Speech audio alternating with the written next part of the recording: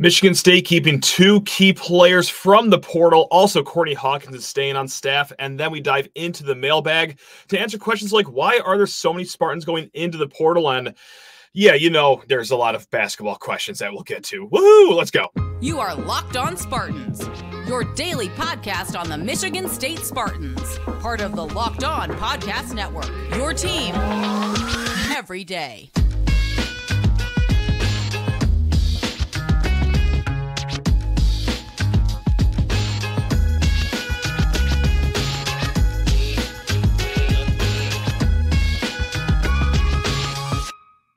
These days, every new potential hire can feel like a high stakes wager for your small business. That's why LinkedIn Jobs helps you find the right people for your team faster and for free. Post your job for free at linkedin.com slash locked on college terms and conditions apply. Spartan friends, Spartan family, locked on Spartans listeners. Thank you guys so much for tuning in to another episode of Locked on Spartans, your team every single day. And if you're watching right now on YouTube, yeah, we're doing a live show. We've been doing a lot more of these than we used to back in the day. I don't know. I guess I'm just bored, and the thrill of going live is what keeps me rolling out of bed every single morning. But no, really, hey, thanks a lot for joining. If you're watching live or if you're listening on the podcast, thank you all very much. Please rate, review, subscribe, smash that five star button if you are listening on podcast. And away we go into the show. Enough of the boring housekeeping stuff. On this beautiful Monday to start the week, Michigan State got some key additions back from the portal, both in a position group that I was starting to get a little nervous about because, well, it was the offensive line. And you saw my concern meter keep ticking, ticking, ticking towards not full blown panic, but just like kind of sort of light panic. But hey, you get two guys that are well, odds are going to be slated to start next season back because Ethan Boyd, he announced that he is taking his name out of the portal, and then Brandon Baldwin, a few hours later, did the same on Monday. Now, Ethan Boyd, he was the first one to announce his return, so we'll start with him. Right tackle, 313 offensive snaps and just gave up two sacks and 13 pressures in those 313 offensive snaps. Now, odds are he will be starting this year. And really, if you ask a lot of people, myself included, probably should have been the priority starter this year because, hmm, not to slander hardworking college kids, but I'm not sure if we started the right guy at right tackle this year. Anyway, let's move on to left tackle, Brandon Baldwin. He started 10 games last season, 533 snaps, three sacks, and 29 pressures for Brandon Baldwin. So, yeah, that these are good wins for Michigan State. I mean, look, I'm not going to claim that, hey, it's Jack Conklin returning to Michigan State, or hey, this is going to be a team that anchors the best offensive line in the country. But guys, these are key additions here. And these are two kids that, yes, despite what internet trolls want you to believe, like these are kids that did have some offers elsewhere in Power Five landscapes. Ethan Boyd, for crying out loud, it was reported from the brass over there in Tempe that he visited Arizona State not too long ago. And just to go off on a tangent, I mean, this isn't even about Arizona State football or Michigan State football. How how can you have a kid visit Arizona State and not just have his commitment within 20 minutes there, especially in the month of December? Like it is a beautiful campus with beautiful people, beautiful things to do around that campus. I I don't know how Arizona State doesn't lock up any uh, any kid that's visiting them, but anyway, let's keep our eye on the ball, Matt. Uh, back to the main focus here. This is big because why was I getting so concerned about the offensive line? You heard me on yesterday's show. You heard me on a few shows last week too. Is that as kids kept on jumping into the portal, that number of offensive linemen that you had to replace got up to nine. You take the seven guys that entered the name in the portal, you take the two seniors that are leaving for graduation. Nine offensive linemen is a lot to fix, guys. And hey, I'm not sure how strong this market is for offensive linemen anyway. not to throw dirt on a kid that just left, but the, the last guy that started at right tackle, he just landed at Oklahoma. Not my favorite right tackle necessarily. We saw a lot of things go south, and well, my goodness gracious, if that's one of the best tackles on the board that Oklahoma got, that USC also called and offered, Oh boy. Um, hmm, okay, maybe this isn't the strongest talent pool to go fishing in if we are replacing, I'll say it again, nine offensive linemen. So right now, hey, You're back to having to replace just seven offensive linemen, and you have the tackles right now secured.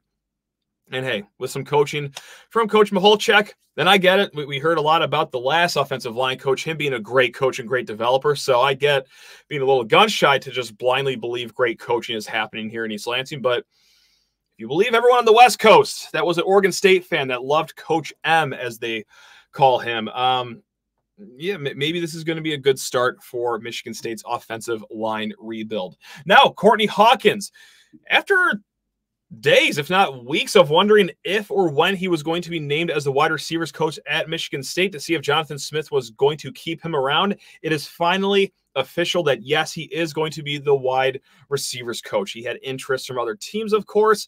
So again, I, I think it's a good addition and a good guy to keep on this staff just for recruiting ties. State of Michigan, Midwest. I mean, obviously, you're killing two birds with one stone there.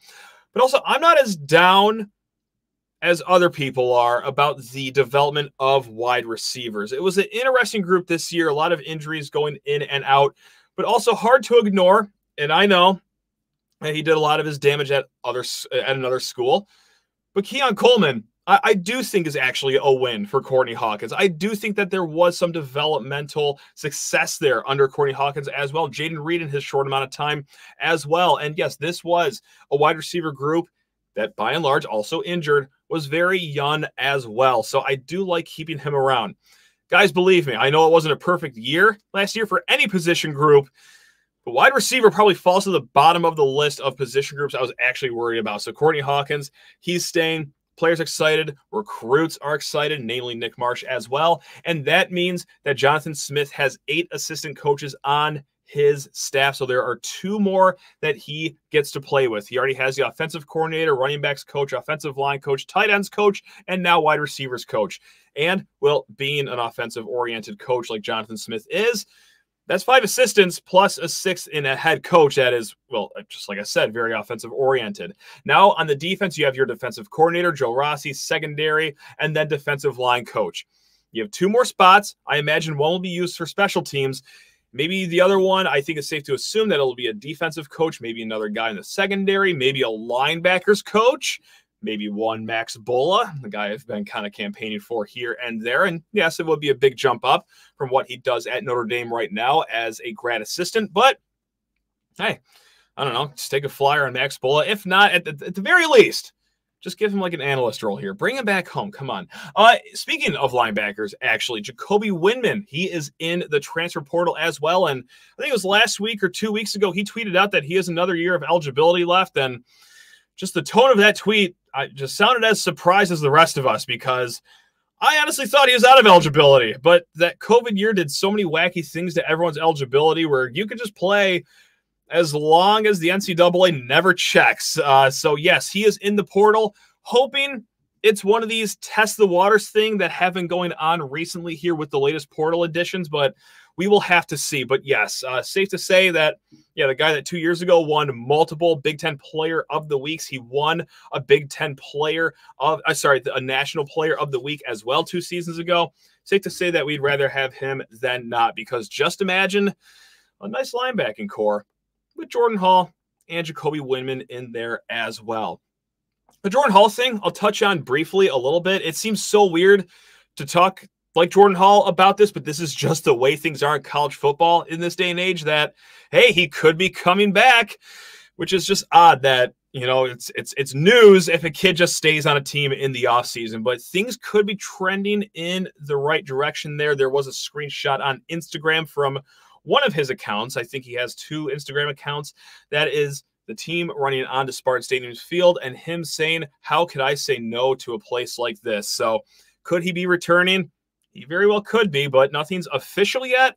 But then again, will it ever become official because he's already on the team? And God, I just I love college football. It's the best sport that there will ever, ever be. But God, I just hate the direction it's going in. But oh well, nothing that I can cry about will change the way that's going to go. And we're going to end this segment with talking about Sam Leavitt, of course, former quarterback who left Michigan State. And well, he told Spartans Illustrated that he left because he was kind of miffed that Jonathan Smith, well, at Oregon State in Sam Leavitt's backyard, never offered him. He found a new home he's going to Arizona State, and oh, that's weird. Arizona State never offered him either. That's a little bizarre. But then again, okay, there, you know, there's a different coach there, Coach Dillingham.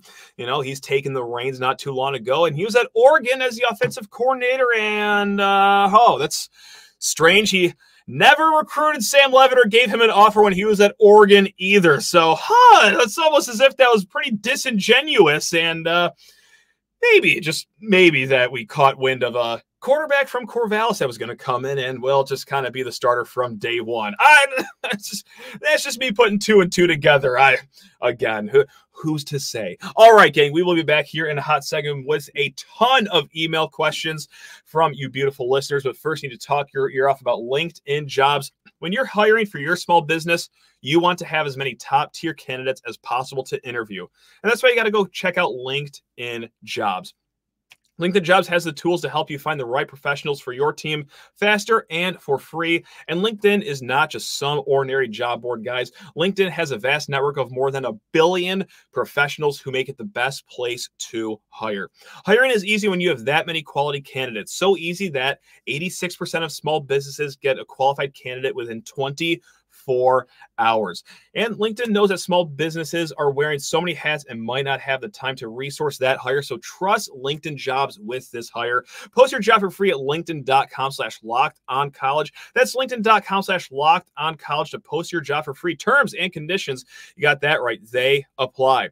Also need to talk your ear off about home field apparel. Got a brand new package at the doorstep today because after I went to home field apparel, picked out this great vintage 1987 Big Ten Conference Championship lawn sleeve T-shirt. Put it on, and again, guys, like I, there are so many things you can talk about with home field. How cool it looks. Like I love this vintage look. I love that it's a callback to the '87 season. But mm, when I put it on, it's like a choir of angels were hugging my body. This is, once again, the most comfortable article of clothing I have in my closet. So, if you want to hook up the Spartan in your life, or let's say for some reason they're not a Michigan State fan, Homefield has dozens and dozens of schools to pick from. Go to homefieldapparel.com and hook it up this holiday season. Also, save yourself some money with promo code LOS23. That is LOS23 at Homefield Apparel for 15% off of your first order. Again, gang, LOS23 for 15% off at homefieldapparel.com. All righty, let's go into the mailbag here. Locked on Spartans at gmail.com if you ever want to reach out or last week I did cast a line out there for some questions as well. Sheehan underscore sports on Twitter is another good place to find me at. Jeff is going to bat lead off here. We're going to get two football questions out of the way and then shift things to basketball the sport that all of us are truly in love with. Uh, who doesn't want to talk about basketball right now? God. But anyway, Jeff is going to bat lead off here. Why are so many players continuing to enter the transfer portal even though coaching situations have stabilized? How are they going to get the numbers to field a team next year? This is going to be a Deion Sanders type roster turnover, but unintentional. I get it because, hey, at the first opening of the transfer portal, or God, even a week before, I think it was what 15 players announced their intentions to enter the transfer portal. That number dropped back to 14 once Darius Snow said that he was going to return. But this weekend, we also saw an influx. I believe it was six or seven guys entered their name, and that's a lot of kids.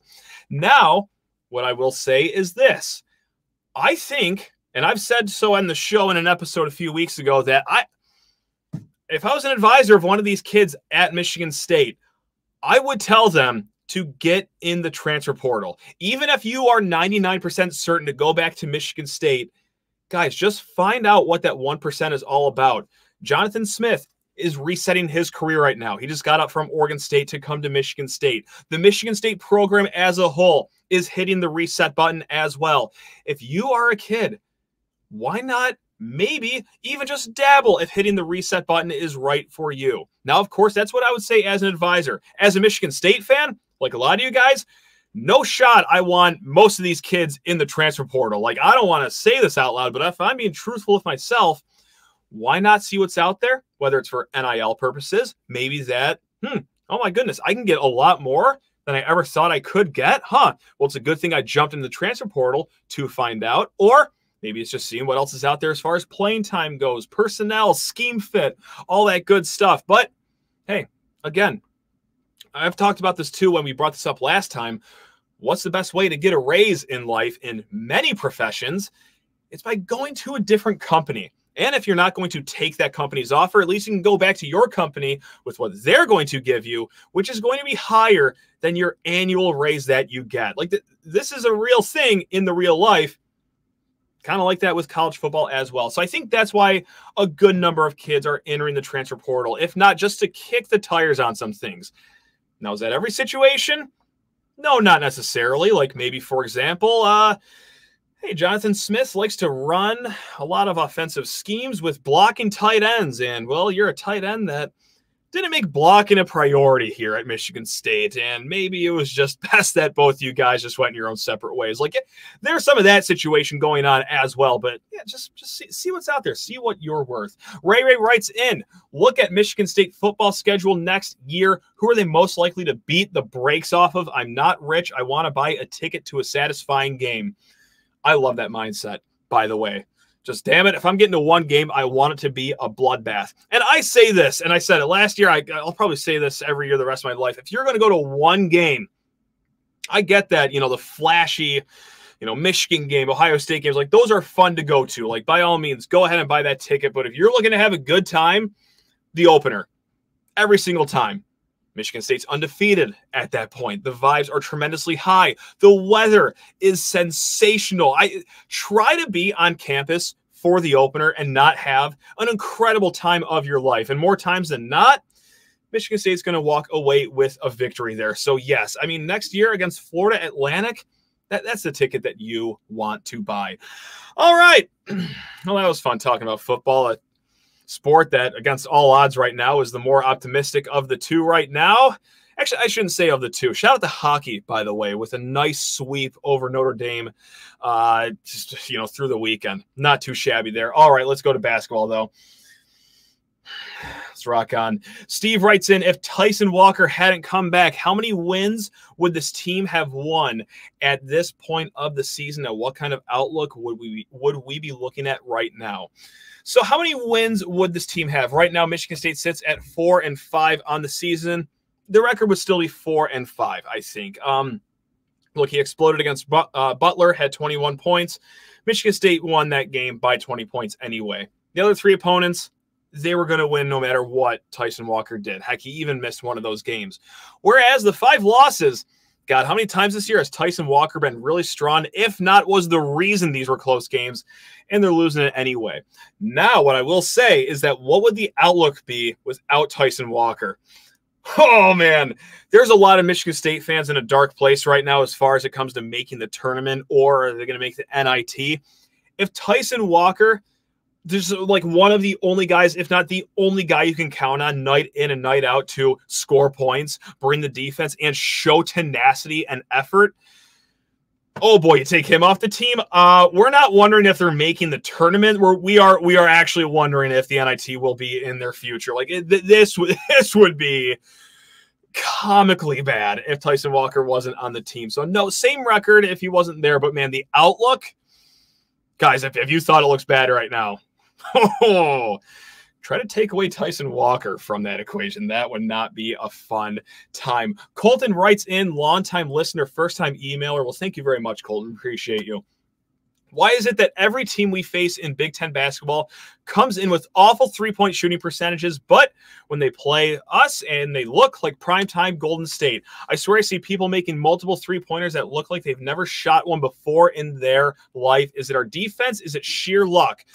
Well, how about it? Just a little combination of both there, Colton. Uh, I go back to the Wisconsin game where let's just say this right now both Wisconsin and Nebraska, the last two games, shot 43.5% from three point land. That is at least a 10% bump from where they are on the season. Both of these teams shoot it lower than 33.5% on the season. Now, for the Wisconsin game, I will say this uh, pretty easy to make 43.5% of your three point shots when you are getting 90% of those looks wide open.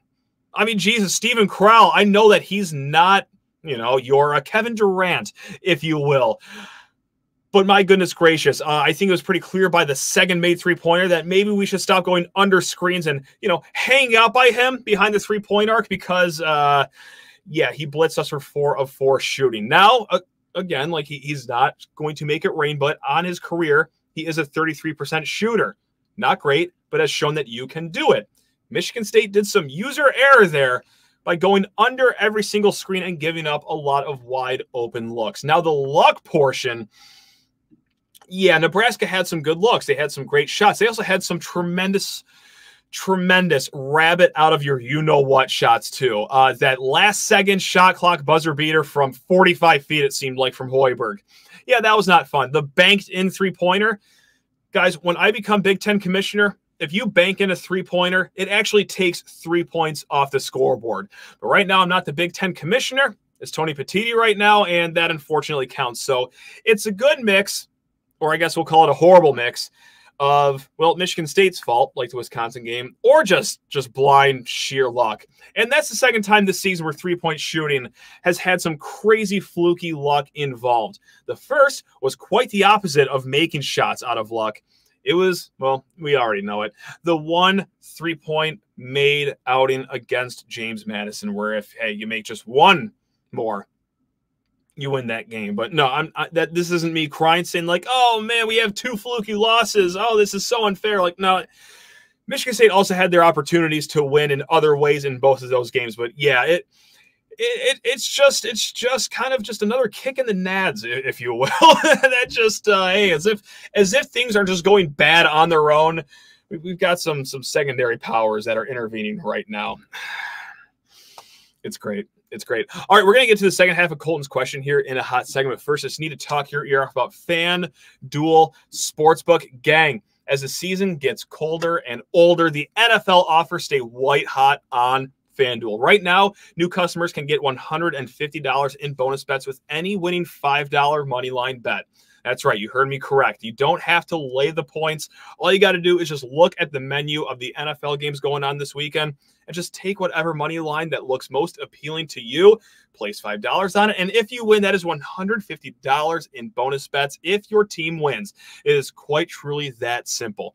If you've been thinking about joining FanDuel, there is no better time to get in on the action. The app is super easy to use, and there's a wide range of betting options, including spreads, player props, over unders, or hey, my favorite, first time touchdown score. So visit fanduel.com slash lockdown and kick off the NFL season with us. It's FanDuel official partner of the NFL. All right, back into the mailbag here. And Colton wrote a second question as well. He says, Will our offense and rebounding return to normal with Jaxon Kohler back in the mix? Mady Sissoko is a great human being. That he is, one of the best of all time at Michigan State. But he is becoming a liability that is costing us more than contributing. we'll be talking more about Jaxon Kohler tomorrow with Carter Elliott as well, because I got to say, I talked about this a little bit on yesterday's show after the Nebraska loss, but maybe the maybe the most bleak moment of the season so far is just how many people are pinning their hopes on Jaxon Kohler. Uh, a guy that is coming off of a foot injury and that you know wasn't necessarily like a force last year but dang it that's all we got for hope so yeah no it will be refreshing to see a post player actually first of all catch an entry pass, like that, that'll just be a market improvement right there. But after he catches said entry pass, actually has like post moves and can, you know, what they call score the ball from the center position on the low block. Like it will be refreshing to see a center be able to do that. What I will caution with the Jaxon Kohler thing, I know that a lot of us have great memories of last year, his good post moves. Maybe this year he'll get better at finishing, but the defense wasn't necessarily uh, sensational, right, guys? So yes, he can you know offer up ten points a game. Let's call it. Uh, oh boy, based on what we saw last year, he could also give up 16 lickety split as well. So we'll see. I I hope a lot of you guys are right and that Jaxon Kohler is just the missing puzzle piece to get things in the right direction. But uh, Oh God, oh, I don't know if Jaxon Kohler is quite that good, uh, and that's you know not even considering the foot injury he's going to come off of. All right, Dave writes in, I'm in almost panic mode with the basketball team. My question: What happened with all the glowing comments on freshman four-star recruit Gehrig Normand? I thought he was a three-point threat. Is his defense that bad that he is going to redshirt? Do you have the inside scoop on why he is a redshirt? Will Izzo accept an NIT bid if we qualify? And unless something changes. A long winter ahead until spring football. Keep telling it like it is. I, will try my best, Dave.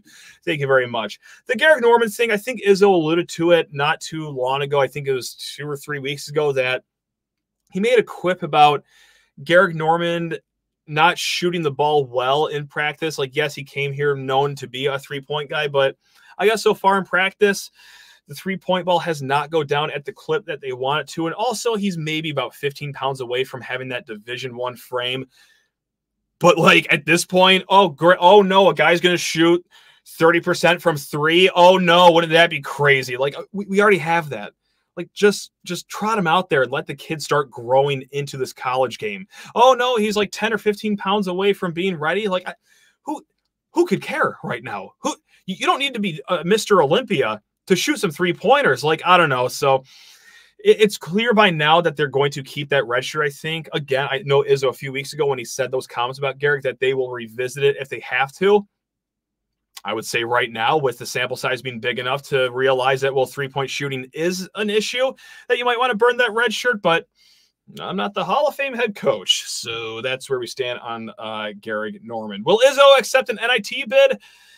Let's, we're going to table that to later when it's like actually a serious conversation. I just I I, I can't I can't let my mental health slip that much that much this late at night. Uh, all right, we're gonna go through some miscellaneous questions here, like some fun ones, because God, what a what a sour note that would be on if we just ended on an NIT question. Red Cedar Spartan writes in What are your top three favorite sport team wins ever? And what are your top three heartbreaks for your teams?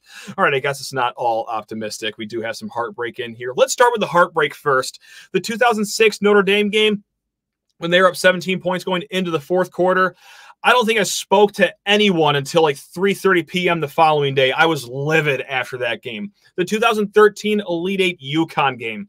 Everyone talks about the Texas Tech game being oh the one that got away from Tom Izzo, or the 2016 Middle Tennessee State upset. I'm like oh, that's the one that got away from Izzo for title number two. No, no, for me, it will always be the 2013 UConn game. They were up in the second half. If they get to the final four, such a soft final four that year, that was the time for number two for Izzo. But nothing is a knife to the heart quite like the 2011 Big Ten championship game. It was forever since Michigan State went to a Rose Bowl. I absolutely loved this team, loved Kirk Cousins, and this was it. They're going to do it. They're going to beat Russell Wilson again until they converted fourth and 92 or whatever it was. And then, uh oh, there's another flag on the field for roughing the punter. And I was. I was with my then girlfriend, now wife's family, and they they almost saw me cry that night they almost saw me cry. Luckily, I stepped away when the tears did start to come, but uh, no, no, I, didn't actually start to cry. They just welled up in my eyes. They had never rolled down my cheek. Um, anyway, let's mix it up. Let's do some fun uh, games here. Now, three favorite sport team wins. I got to go with the classic Rose Bowl 2013. I was very, very fortunate enough to be there for that one. The Michigan State win over Duke in 2019 because I mean, just going to Izzo's eighth Final Four, very fun. But the fact that you slayed one of the most talent laden rosters that college basketball will ever see in that Duke team, three NBA picks in the top 10 to go to a Final Four, like that, that was truly an unbelievable game. And then for third, I, God, I mean, there. Look, I know times are really bad right now in East Lansing, and we are not having fun during any season but we are blessed that there are a great, great list of options for, you know, just best sporting events of all time. So right now, 2015, the Jalen Watts Jackson game, that's got to be up there as well. The 2021 Michigan game was great as well, just because of what that game meant. Both teams undefeated, how great of a game it was. I mean, no shortage. No, again, no no shortage of options. Dougie Tutter writes in. Now this was a while ago, so sorry. We're getting to this a little late, Dougie. Sorry about this. What should the age cutoff for college football be? And why is 30 year old Bo Nix being celebrated for finally being good? Uh, you've played more games at quarterback than anyone in college football ever has. You should be good at it by now.